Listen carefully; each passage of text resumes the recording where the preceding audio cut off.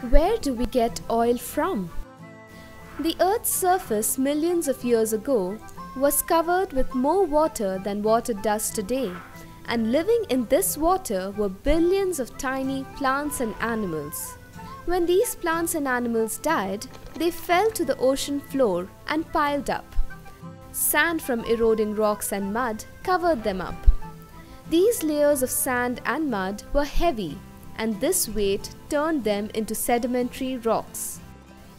Heat from the earth and the weight of the rocks caused the dead plants and animals to compress into oil. Once the oil is formed, it slowly moves up through pores in the rocks. However, in some cases, rocks without any pores leave oil trapped underground. Oil is found in different parts of the world, the places where oil is extracted are called oil fields. More than half of the world's oil is produced in the Middle East. To get to the oil, an oil company must first drill down to it. A rig is set up to support the drill.